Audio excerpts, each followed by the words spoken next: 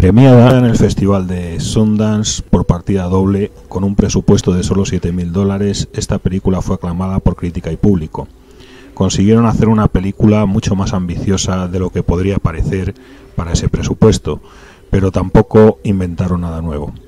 Esto se ve claramente en los efectos especiales inexistentes. Intentan armar una trama a través de experimentos de garaje estaba muy de moda entonces la creación de grandes empresas ya punteras en esos años iniciadas en garajes, como Microsoft, por poner un ejemplo.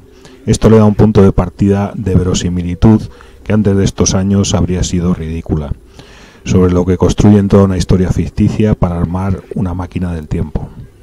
Hay cierto cuidado en los diálogos que pueden parecer realistas, aunque todo lo que dicen sobre materiales y otros temas parece sacado de preguntas del trivial, o algo de conocimiento friki. Esto le da algo de verosimilitud también, pero de todo lo relacionado con la máquina del tiempo no hay diálogos técnicos sobre el tema, lo que chirría un poco cuando se llega a estas partes. Por lo demás es recomendable verla, aunque sea por lo que ya te hemos hablado antes.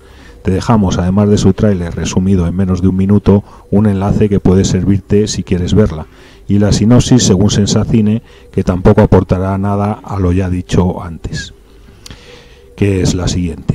Por las noches y algunos fines de semana, cuatro amigos ingenieros trabajan en un nuevo proyecto para una gran empresa multinacional. Tras realizar varios experimentos, acaban de crear un dispositivo cuya función consiste en la comprobación de errores. El dispositivo comienza a obtener una serie de aplicaciones que aparecen de la forma más inesperada. El conflicto llegará cuando dos de los miembros se dan cuenta de que es demasiado valioso para el mercado.